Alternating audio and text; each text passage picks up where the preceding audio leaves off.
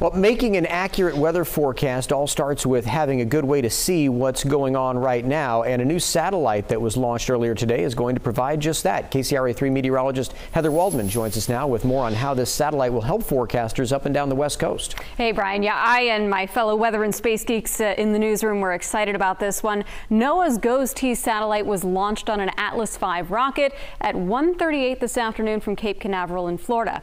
Headed for an orbit 22,000 miles above the equator, where its sensors will focus on gathering data for the East Pacific and for the West Coast.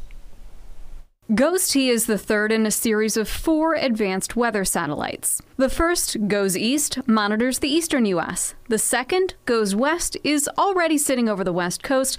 However, a failure in its main instrument is forcing it into a backup role much sooner than planned.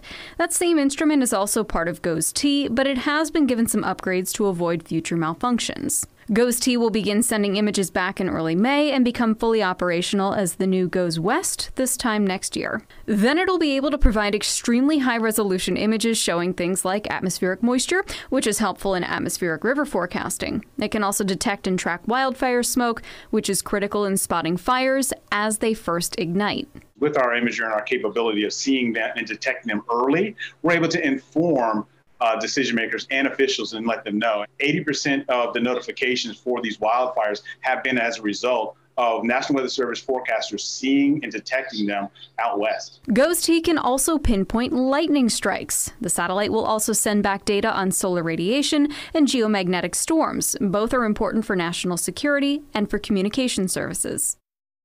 And of course, the KCRA 3 weather team will have access to this high resolution data, and that means we'll be able to give you the best information possible to help you prepare to keep yourself and your family safe.